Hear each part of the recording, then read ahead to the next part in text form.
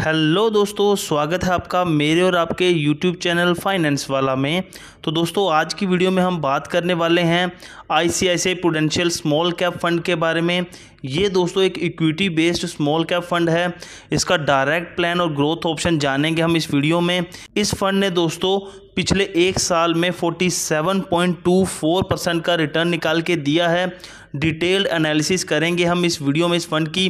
तो चैनल पे पहली बार आए हैं तो चैनल को सब्सक्राइब कर लीजिए और वीडियो को लाइक कर दीजिए। पिछले तीन सालों की दोस्तों बात करें तो इस फंड ने एनुअली 31.61 परसेंट का रिटर्न निकाल के दिया है। और अगर पिछले पाँच सालों की बात करें तो एनुअली दोस्तों इस फंड ने 27.55 परसेंट का रिटर्न निकाल के दिया है। और दोस्तों जब से ये फंड लॉन्च हुआ है, तब से इस फंड ने एनुअली 18.80 परसेंट का रिटर्न निकाल के दिया है। और बात करें अगर हम इस फंड की एनएवी वैल्यू की एक यूनिट की तो दोस्तों इस फंड की एक यूनिट की एनएवी वैल्यू या फिर हम कहें नेट एसेट वैल्यू 87.26 रुपीज़ की है। आप इसमें हंड्रेड रुपीज़ से मिनिमम एसआईपी मोड में इन्वेस्टमेंट शुरू कर सकते हैं। मान लीजिए दोस्तों अगर कोई बंदा फाइव हंड्रेड रुपीज़ पाँच सौ रुपये की एसआईपी शुरू करता है इस फंड में अगले तीन सालों के लिए, और जो रिटर्न है, अगर हम पिछले तीन सालों वाला इकतीस पॉइंट सिक्स वन परसेंट मान के चलें तो दोस्तों तीन सालों बाद उस बंदे की फ़ंड वैल्यू तीस हज़ार एक सौ बानवे रुपये अप्रॉक्सीमेट हो जाएगी। लेकिन दोस्तों, ये जो पिछले तीन सालों का रिटर्न है, ये ज़रूरी नहीं कि आगे भी इतना ही रहे। ये कम ज़्यादा भी हो सकता है, उसी के हिसाब से आपकी फ़ंड वैल्यू भी यहाँ चेंज हो जाएगी। और दोस्तों, अगर कोई बंदा पाँच हज़ार रुपये लमसम डालता है, अगर इस फंड में अगले तीन सालों के लिए रिटर्न हम इस केस में भी अगर पिछले तीन सालों का इकतीस पॉइंट इकसठ परसेंट लेके चलें तो बंदे की दोस्तों, जो अप्रॉक्सीमेट फंड वैल्यू हो जाएगी, वो हो जाएगी ग्यारह हज़ार three hundred and ninety seven rupees लेकिन ये जो रिटर्न है दोस्तों फ्यूचर में कम ज़्यादा भी हो सकता है तो सेम उसी की तरह फ़ंड वैल्यू भी फिर चेंज हो जाएगी. इस फंड की दोस्तों कुछ इन्फॉर्मेशन के बारे में जान लेते हैं। पिछले 11 सालों से ये फ़ंड चल रहा है। इस फंड का फंड साइज़ दोस्तों सात हज़ार एक सौ बहत्तर पॉइंट सात करोड़ का है। लॉक इन पीरियड कोई नहीं है। एग्जिट लोड एक परसेंट है, जो मैं आगे बताऊँगा आपको। एक्सपेंस रेशियो की बात करें तो zero point five five percent का है दोस्तों। इस की बात करें तो अगर आप अपने पैसे को एक साल से पहले निकालोगे तो आपको एग्जिट लोड चार्जेस के साथ साथ पंद्रह परसेंट का short term capital gain tax भी देना होगा। लेकिन अगर आप अपने पैसे को एक साल बाद निकालते हो तो आपको long term capital gain tax दस परसेंट का देना होगा।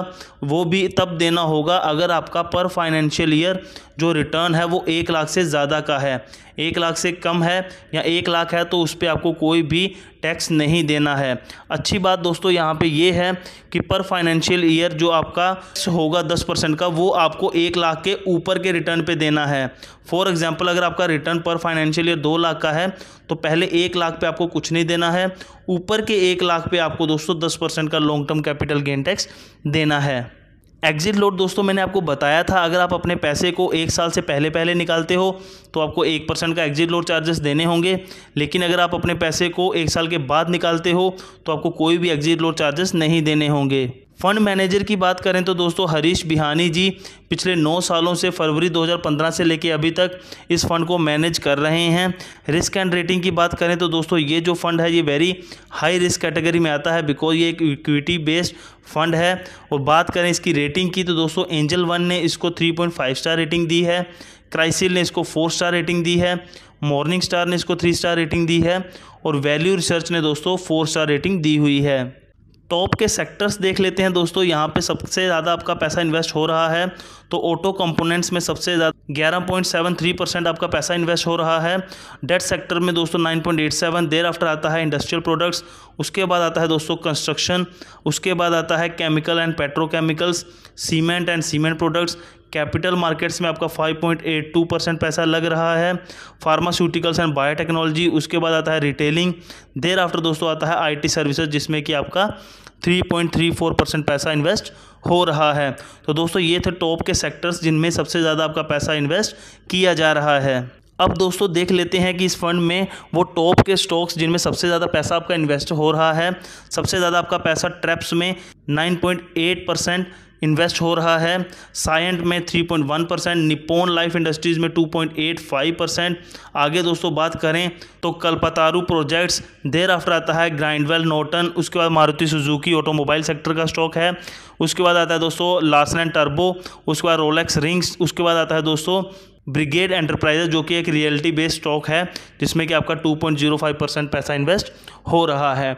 तो दोस्तों, ये टॉप के वो स्टॉक्स थे जिनमें कि आपका सबसे ज़्यादा पैसा ये फंड इन्वेस्ट कर रहा है। तो दोस्तों, हमने आपके साथ पूरी की पूरी जानकारी इस फंड की साझा कर दी। आपको वीडियो अच्छी लगे तो वीडियो को लाइक कीजिएगा। और अगर आप भी अपना अकाउंट म्यूचुअल फंड के लिए खोलना चाहते हैं तो आपको एंजल वन का और धन ऐप का लिंक डिस्क्रिप्शन में मिल जाएगा।